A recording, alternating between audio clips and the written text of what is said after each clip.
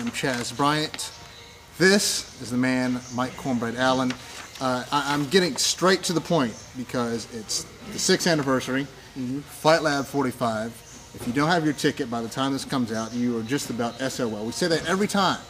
But folks, I think this is uh, this this is the granddaddy. This is this one's big. This yeah. is this one you can wet your pants over. This one you're gonna go home and you're like, did you see what happened at this one? Yeah, yeah. I, I actually, shake the dog whenever I, I come home. Actually, the last one, the last one was the granddaddy. This is the great great granddaddy. Yeah, it was a sellout last time, yeah. and it was just about close to a sell, if not a sellout. The one before that one, I think this one, this one, Fight Lab 45 anniversary. Everybody's gonna be dressed to the nines, tuxes, uh, tuxedos, ballroom gowns, ballroom gowns, yeah. uh, light orchestra music. Yes. Absolutely. Ricky Rainey and Jeff Jimmo will be parking cars. Oh, that, they, they will be. Valet out there. Valet, valet will be. You're going to have your valet drive up, and I, want to see this. Drive your, your car up there. I, I'm going to have my valet drive up. This is exciting. I'll be taking my carriage. They'll be bringing me You've got a carriage Yeah, now. carriage, eight horses. Eight horses. Yeah. So Kenny Letts has, has given you two uh, more horses than last time now for this yes. one. Yeah, he's trying to make up for the 40 acres of mule, but we'll, we'll talk about that later on.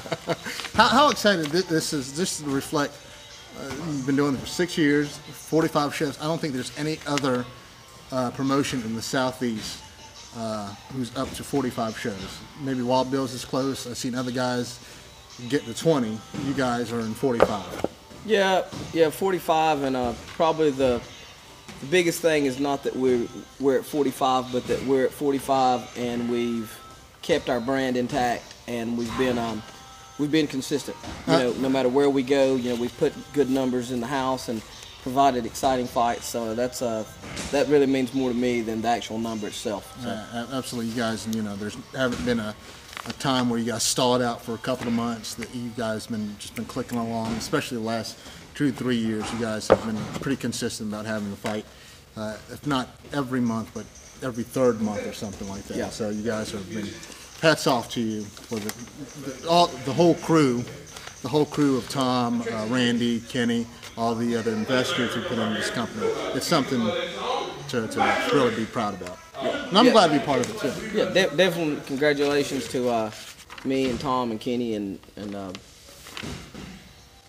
I think you're probably you you, you and A Rod are probably the only supporting cast that's been with us from the beginning, aren't you? No, I, I think I came in right in the teens somewhere. Right so. in the teens. Yeah, okay. 15. Well, I know A Rod's been with us from uh, from the first day, and uh, you know it's, it's been a, it's been a long ride. You know we, we've we've definitely gained a lot of people's respect. Uh, had a lot of conflict with uh, with a lot of people, unfortunately, but uh, you know we've survived, and we, we plan on being here uh, and we've picked up a lot of good help along the way. So uh, we're fortunate. I'm not going to go into any double entendres that you mean there, because I think I think it's time. I think the people are waiting. They're, they're, they're waiting. They're sitting there with their pen and paper ready to go. They're, they're calling in the kids. Grandma is putting on a pot of coffee. Yeah, the neighbors have been phoned. I think it's time to do some picks here. Are you ready for some picks? We're ready for some picks. Let's do it. Because you changed something up on me, and I just now can't remember because I, I haven't had my pot of coffee. Remember, folks, this uh, these fights are competition, not an exhibition. So wagering is thoroughly encouraged. It's six-year anniversary, so place big bets here, big money on this one. Big money. Uh, no less than two thousand. Oh mercy! Well, that's and make sure you send part of it our way. Uh, this was changed. It was William Maddox versus Jonathan Martin. It is now William Maddox versus Nassim Jones. Nassim Jones. Uh, what do we know about these two guys, and what's your pick for those? Uh, William Maddox trains at uh, Superior MMA uh, with Roger Carroll, and he also trains with uh, Scott White and George White, who have the really cool nicknames. I think one of them's named X-Men, another one's named, I don't know, Nightcrawler or something like that. Yeah, that's part of X-Men, yeah. isn't it? Yeah, those, those are his instructors, I think. But uh, I've seen William in the grappling circuit. He's a young man, 18 years old, 19 years old. Uh, he's competed against my son in several grappling tournaments. Did he beat him? Uh, no. Did you say that with a straight face? No, I didn't. No offense to William Maddox fans, but no, he didn't. Oh, uh, but uh, talented young man. You know, despite you know he's always a good match for for my son uh, grappling, and uh, I hear he's a really good uh, striker. You know, I would have to expect that he has some type of form of Muay Thai training Sure. Coming with Roger and Scott. Uh, and then on the other side is uh, he's actually going to go against one of my students, uh, Nassim Jones, who's also 18 years old. In fact, Nassim is still in hi- bucks. high school. Holy cow! How's Yeah. Um, that even possible? Legal? I guess once you reach 18, just about. Yeah, I, I think Nassim started school late, um, and and William has graduated school, but he's 18 also. So we've got our two. Uh, I think this is the two youngest competitors to have fought each be. other. Now we, we've had Trey Singleton, obviously turned 18 on his birthday. Uh, he fought for us, but uh, he fought old man Derek Hite. um, so it's it's gonna be fun, man. And the great thing about kids that age, you know, they don't get tired and they're fearless. So uh, we're gonna look forward to, to an awesome, awesome competition. And you know, my biggest thing for both of them because I like William. Obviously, I love Nassim. He trains here with me, but uh, you know, both of them go out the same way they came in. So I'm I'm gonna go with Nassim because he's my student, but uh, definitely gonna be fireworks. That, that's fine. And the fights are regulated by uh, the North Carolina Boxing Commission, so it is a legal fight since Yes. they are 18. Uh, we're going to move on to some women in there. Tiffany Lee out of Modern Warrior MMA down in Rock Hill, South Carolina. She's 1 0 going against uh, Caroline Cornell. She is a debut inside the cage. Uh, what do you know about this? Um, Tiffany Lee, she's uh one of those angry midgets that, that fight out of Firecracker. Modern Warrior Yeah. with that other little angry midget that, that uh, you hang out with, Keith Richardson. I don't hang out with him. You don't hang out with him? No. I don't either. That's just, just associates. just associates. But uh, you know, I, I I've seen her grapple at tournaments. She Yeah. seems to have a, a decent wrestling base. Seems to be a strong young lady. Um, and Caroline Cornell, she comes out of a top tech team up in Virginia. Top tech team. Yeah, top tech team, and uh, that's uh, where Tony Gravely and uh, some other people that's competed on our uh, Christian Leonard.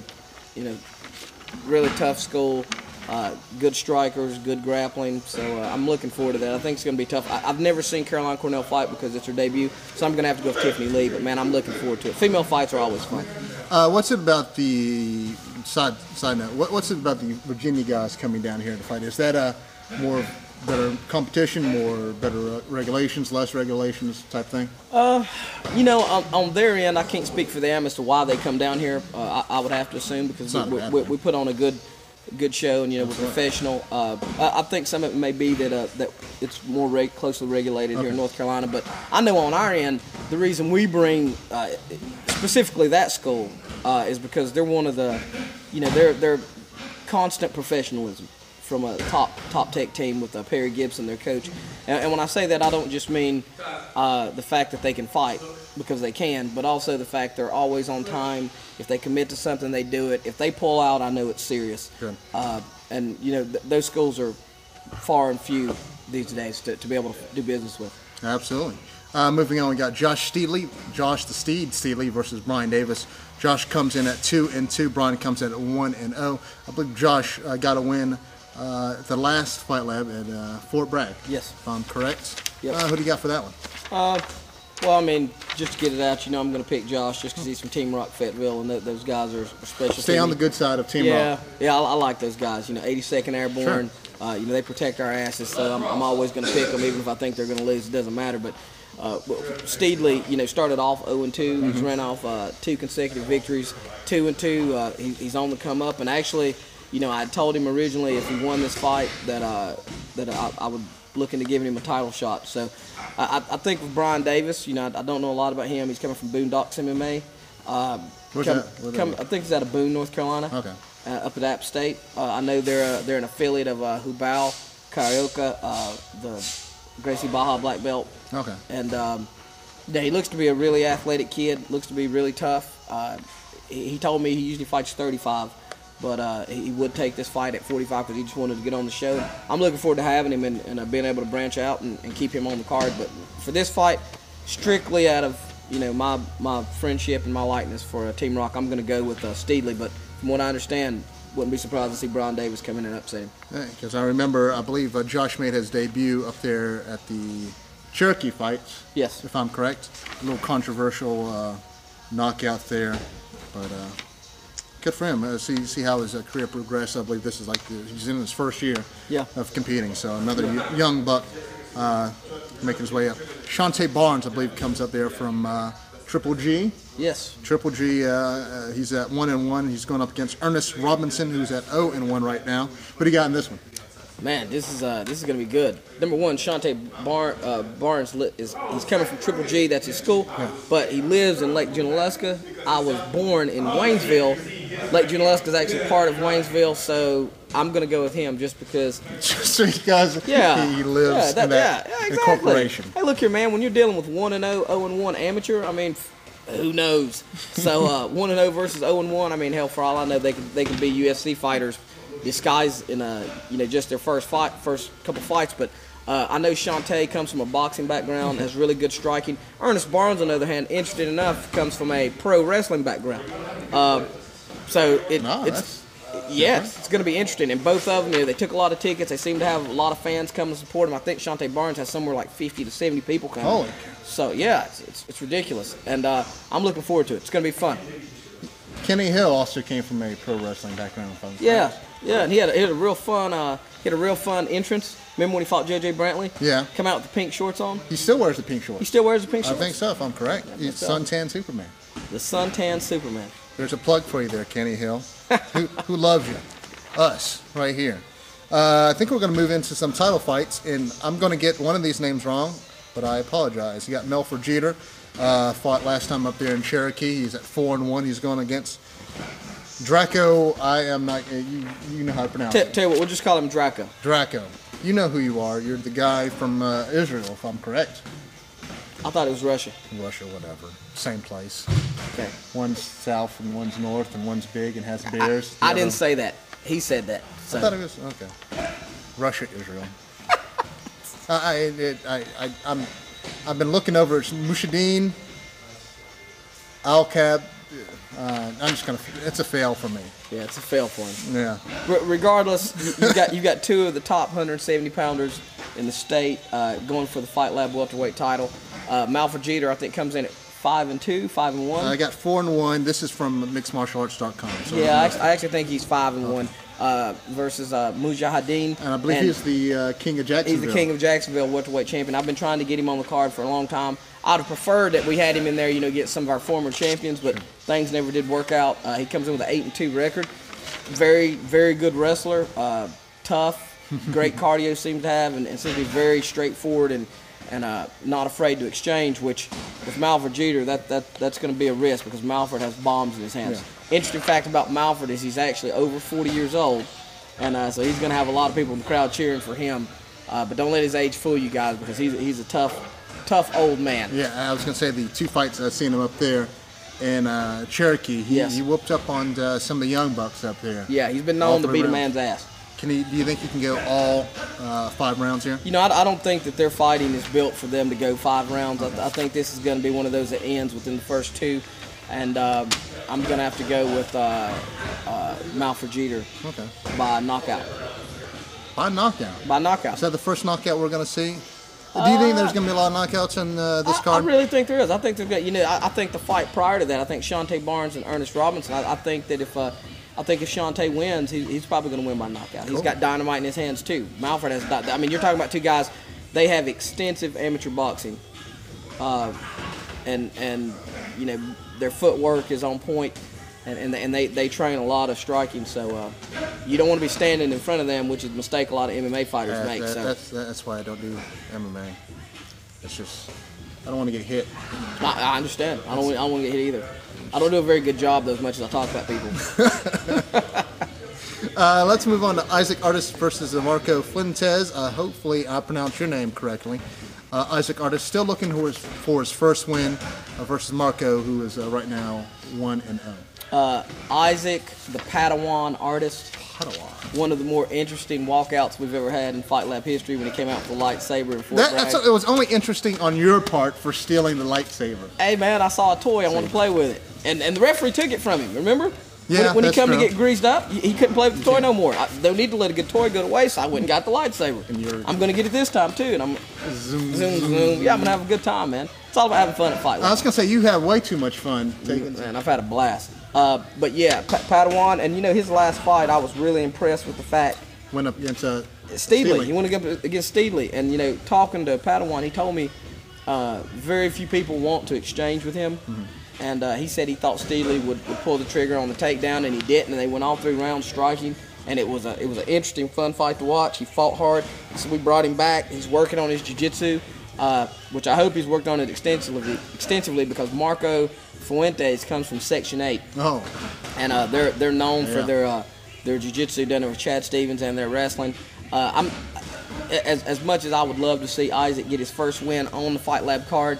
Uh, I'm gonna go with Marco Fuentes, but I mean I wouldn't be surprised if, if Isaac pulled it out because it, it- he's he's he's a come up guy and, and he's young. I I was gonna say he's been the last couple, I think two fights I've seen out of him. He's been real close. He's taken guys to at least the uh, decision win. Yes. Where usually, uh, I think the first couple of fights they're all within the, the, the three rounds, and uh, I think a couple of them been in the first round. Yeah. So it's good to see him And you gotta look close. at, and you gotta look at some of those losses too, man. Like some of those losses he had, man. Matchmakers was putting him in there at like 155 and stuff like that. He's not a he's he's, he's a small he's, he's still a kid. He's still growing. He's not a 55 pounder. Yeah, I was gonna say, and he's been a couple of the guys he's been in the cage with are pretty good guys. It was, uh, uh, of course, Steedley. I think he went up against Shelton Sales and lost. And I think he went against uh, Luke Milligan. Yeah, Luke Milligan. Yeah. Savage. Those are three horses. Yeah, so he's it's not, nothing to be uh, shake your head about. Those are some terrific guys he's got up against. Uh, moving on, we got uh, Chase Calloway versus Adam Rodriguez. Chase Calloway At at 125 pounds. 120. Are you sure it's at 120? I'm joking. It's 135. Okay, don't don't scare that little guy out there. I know he's been fighting to get back in the cage. Do you think that a little bit of a layoff for him? Because he was pretty upset uh, at the last one. Whenever He uh, was man. He was looking angry. Like he was giving me the evil eye. I would too. Just, just for walking down the street, I would give him the evil eye. I was scared. I get scared a lot, man. You don't understand. I get threatened like every show. My show, I get threatened. But but is it is it wrong? Is my thing. I- I- do they have a point whenever they say bread this time? Because you're over here, I'm, I'm looking at the camera for some reason. Right. Bread, you mess with me one more time, I know.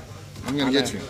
I know. Well, you're right. You're, you're, you're right. It's, it's, not, it's not wrong. And, and, and Chase had every reason to be upset. If you don't know what we're talking about, Chase was supposed to fight Adam Rodriguez on our last card at 125 pounds. Adam thought it was 135 pounds.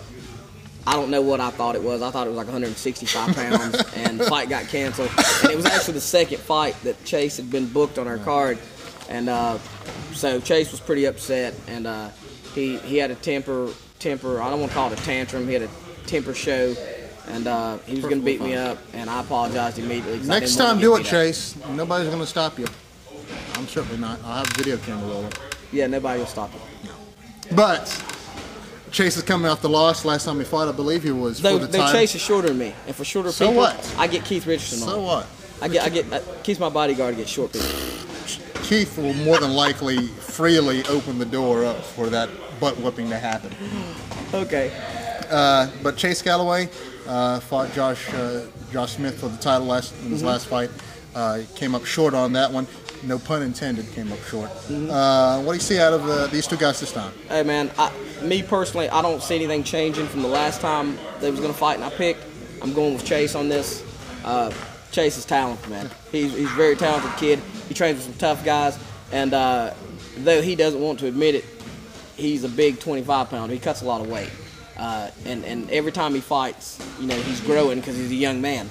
So uh, I, I just I don't think Adam Rodriguez can keep up with Chase's wrestling, but from what I understand, you know, I know Adam's straight off of a win, and and he, people tell me his wrestling's good. So we'll see. Two Nats going at it that can wrestle. I like watching the Nats. I like the Nats. Nats are Nats are cool. fast, man. They remind me when I was in middle school. At 125 pounds. Fast. Was you fast? Uh, stocky.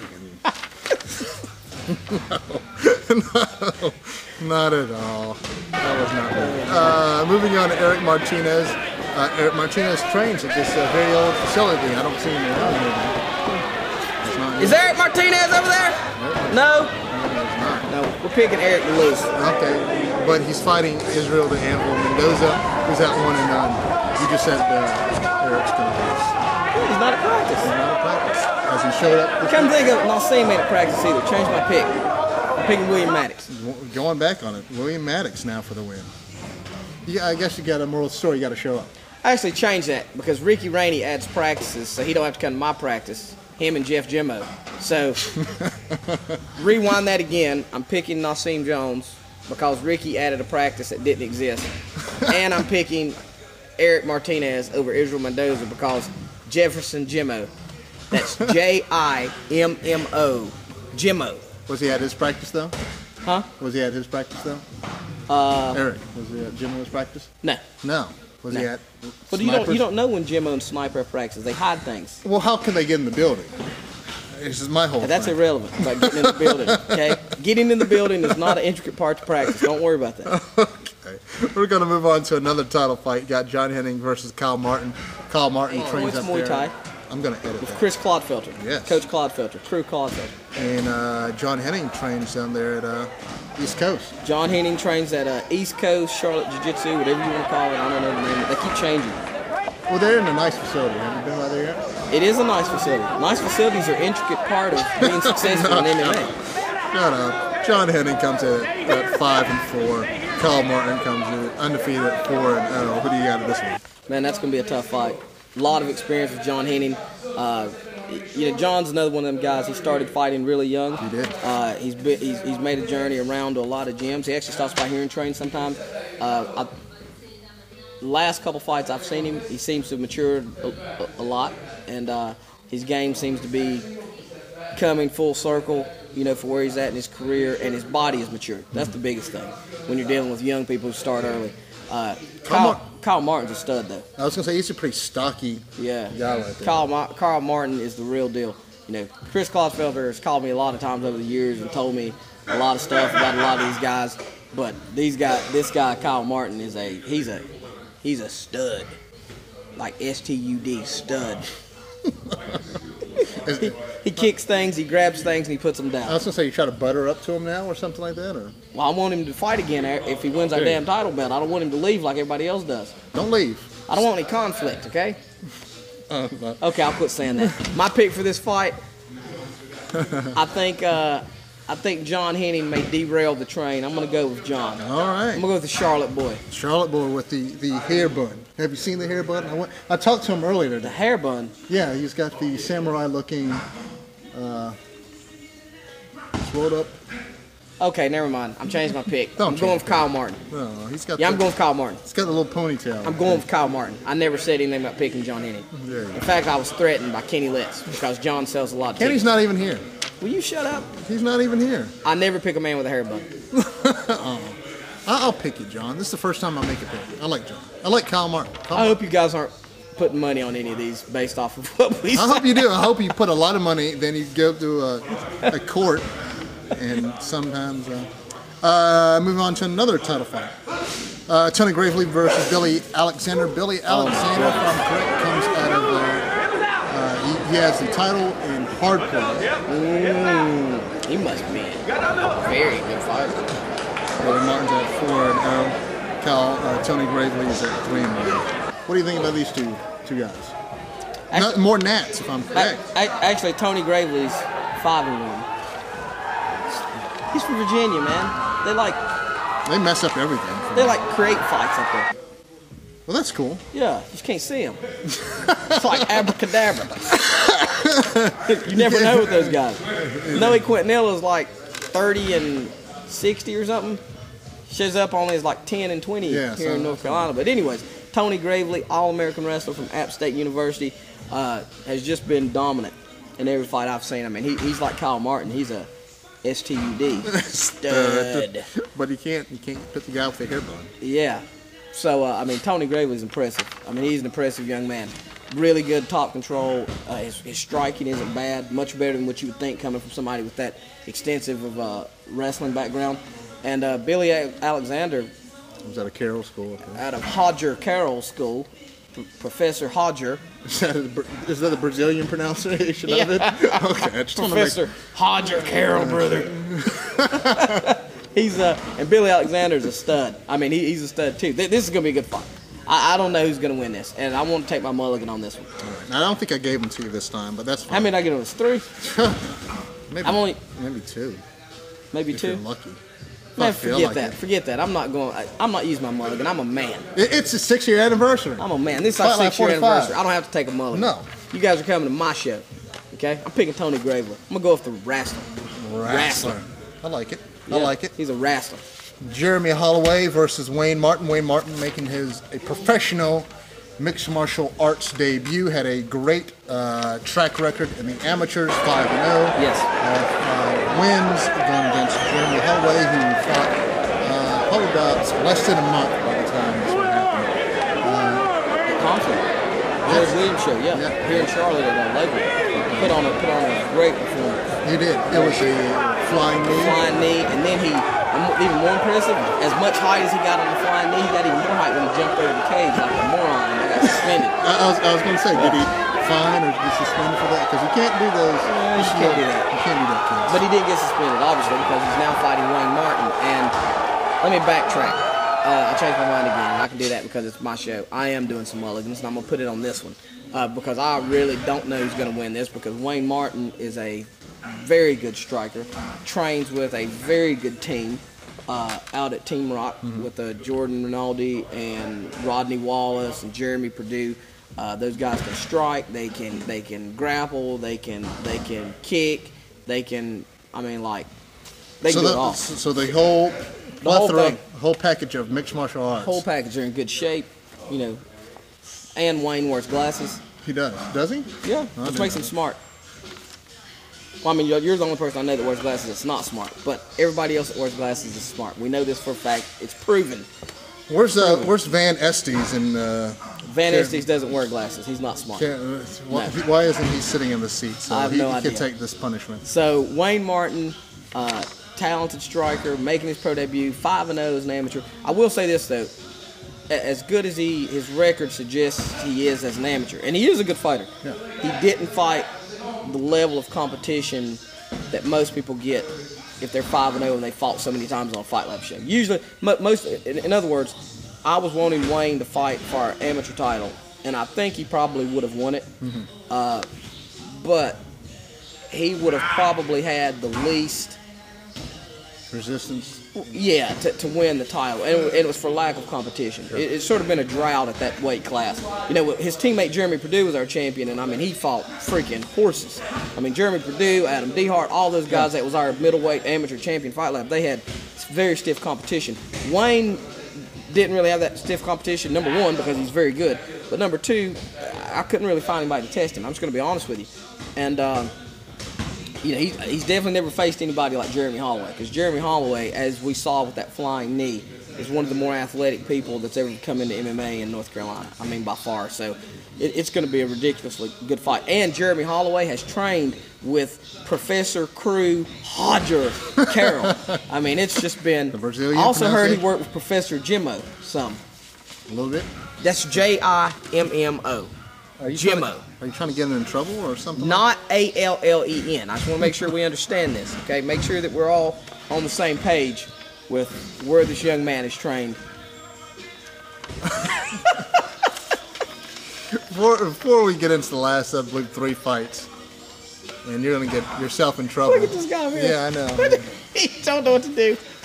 Where is is where is the drought and where is there plethora plethora of more talent? Is it in the lightweight classes right now, or is it a, Yeah, drought in the yeah. That, that, there's there, there's a serious drought in uh, in the upper weight classes of MMA, in this region at least. Uh, and my opinion, which doesn't count for much, I, I see it in the, the bigger ranks as well.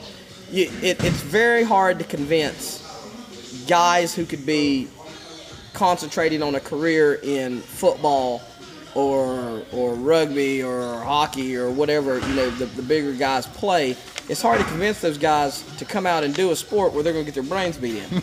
And, and and that's why you saw you know in the in the in the 70s 70s and early 80s you saw these great heavyweight boxers.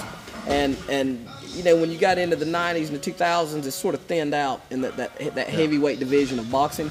Uh, and and you're seeing it quicker in MMA because in MMA not only do you not want to get your brains beat in when you could be playing NFL football or college football, but you don't get paid as much money as you get paid in boxing if you do make it to the big leagues. So in the amateur, we we just don't see. We haven't had a put it this way. we've had the least amount of champions in our heavyweight division, the second least amount of champions in our light heavyweight division, and our third least has been our middleweight division. Uh, even over the flyweights, which is pretty hard to find. But uh, you know, it, it's just there's a drought there. It's, they're, they're not coming out. They're not they're not training and they're not getting involved. Okay, the only reason I asked that is because you did mention Adam Dehart Mm-hmm. in Purdue, which I remember when I first started getting into this. There were a lot of guys out there, a good many of them uh, in the, the There were some studs. There were some studs, and, and not only did you have Adam Dehart in Purdue, but as they got more experience, then you got guys like Dennis and Pavia coming in behind them. You know, does that make sense? Yeah. And, and, and and Nick Smith and and and you know you could see the next generation coming in for the region, but And it sort of but then it just sort of stopped in those upper weights. Uh, we're going to move on to Willie Hosh versus Mike Stevens. Uh, Willie Hosh comes in at four and one.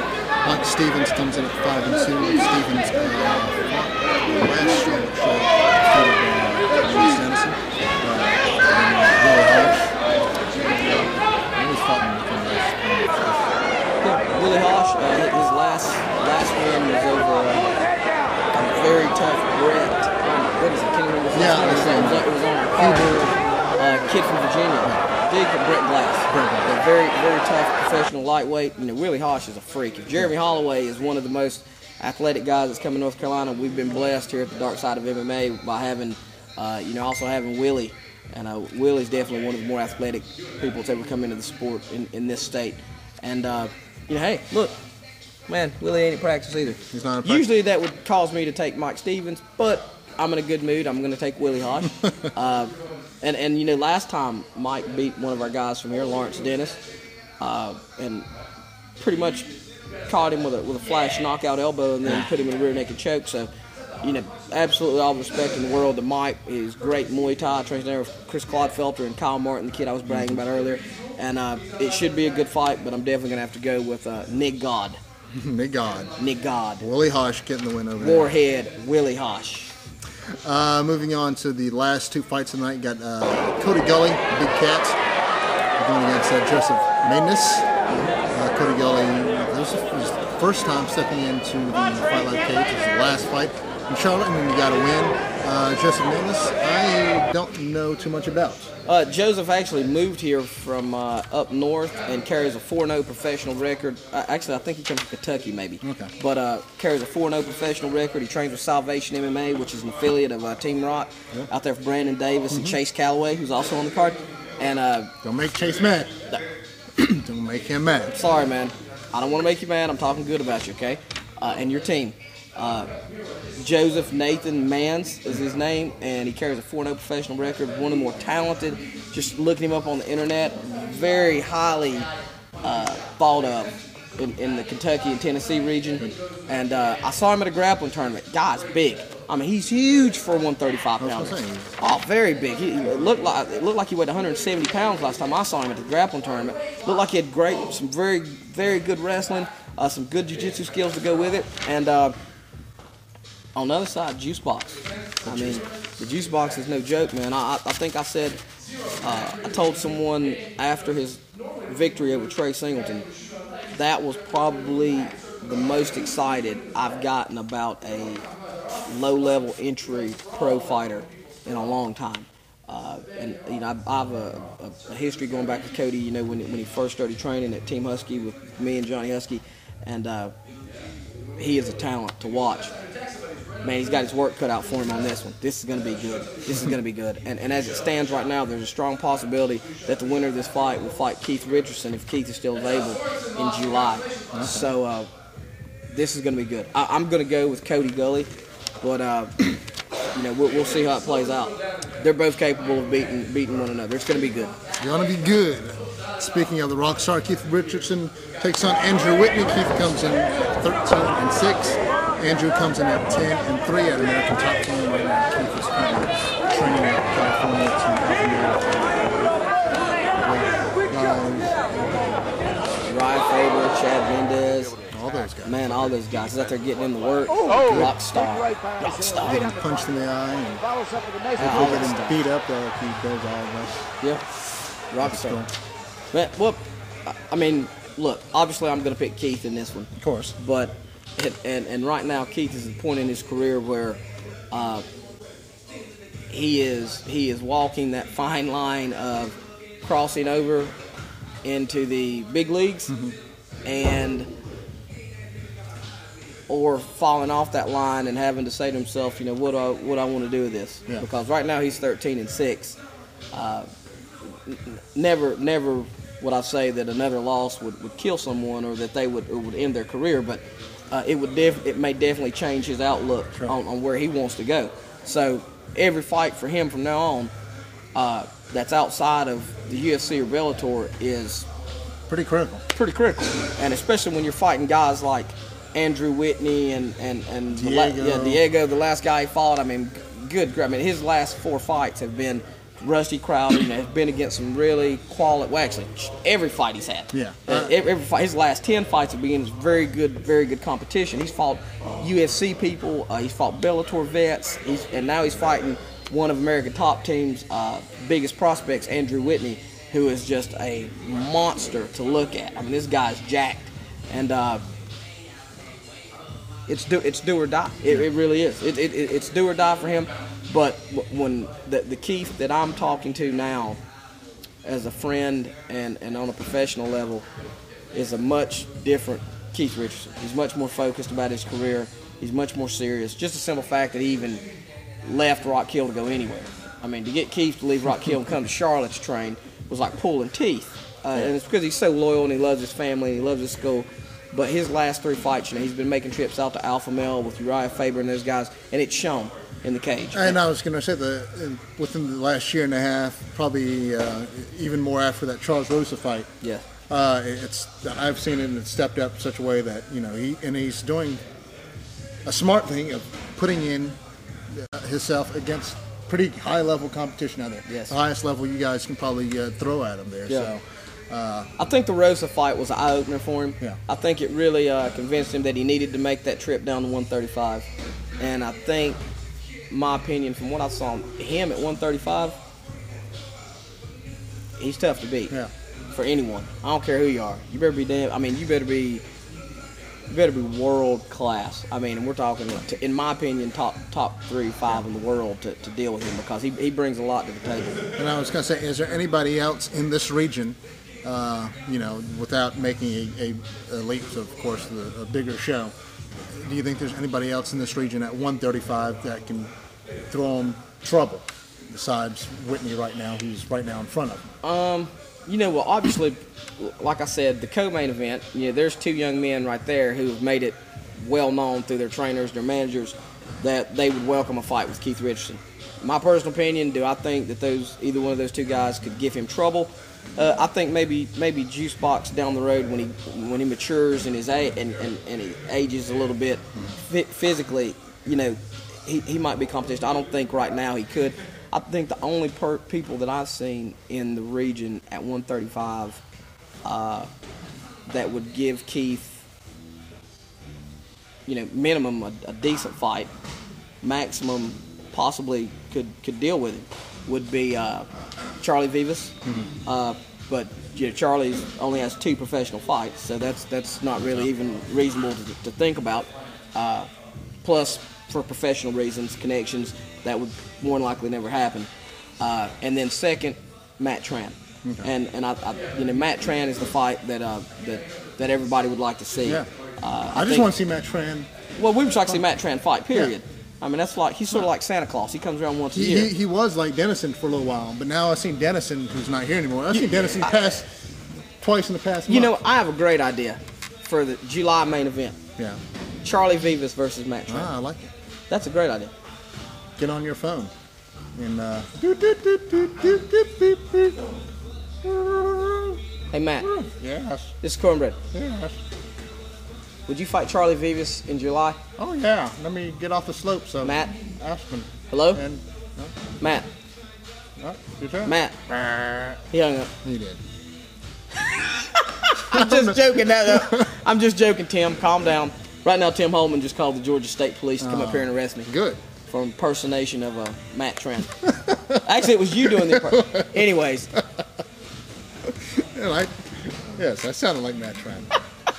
yes. I like Matt too. I- I Matt- like Matt's one of my favorite fighters. I like giving him a hard time. I, I want to see him fight again. I do, I do I- I want. I do want to see. Actually, you know, any of those combinations for July: Matt Tran, Charlie Vivas, Cody Gully, Nathan Mans. Those four guys, I'd love to have them get get in the mix. But we're, we're getting ahead of ourselves here. Yeah, but I can go ahead and give my pick for it. Oh, no, you can't. Yeah, you, don't can. Have, you don't have the matchup. Charlie Vivas wins by knockout. No, we're not taking it. It's not official. It's not even. It's Even not, if- we're not even. It doesn't matter if it's official. We're not even in summertime. This is my- We're this is my show. I can day do what I number want one. to. No, I wanna make the damn right prediction, now you're, you're no. Right now this is my show. Your show is on Saturday. You're in my uh, gym. March 28th. I'm get, getting ready to get the hell out of here. I don't see it anymore. March 28th at the Grady Cole Center. Get your tickets right now. you can hop up the two screens while you're watching us and order your tickets. We're getting them from your favorite fighter. Keith Richardson's down in Rock Hill. You got uh, John Henning, who's uh, who knows where the hell he's at. You got you. Can you buy tickets from you? No, I don't do tickets. That's a shame. Though I could use the money since I don't get paid anything. Sneak them in the back. Anything else you want to put in there? Hey man, it's gonna be it's gonna be a great show. Doors open at five, fight start at six, which means we'll probably start at six thirty. But be there at 5:45 just in case because we got some fantastic grappling matches. Uh, Joey El Dingo Loco Carroll's gonna be taking on Joe Selecki. Rob Taylor will be taking on Jonathan Fennel.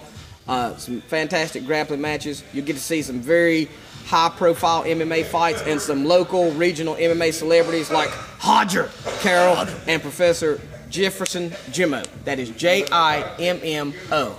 Jimmo. March 28th, Fight Lab 45. We'll see you guys there. Thank you guys. Peace.